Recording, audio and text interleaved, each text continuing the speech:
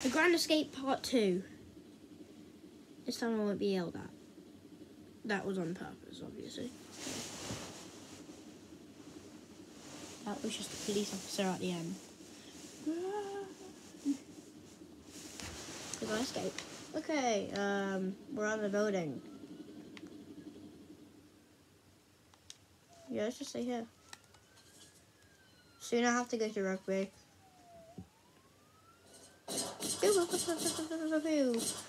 Archie, I don't think you knew, but I'm actually recording a video right now.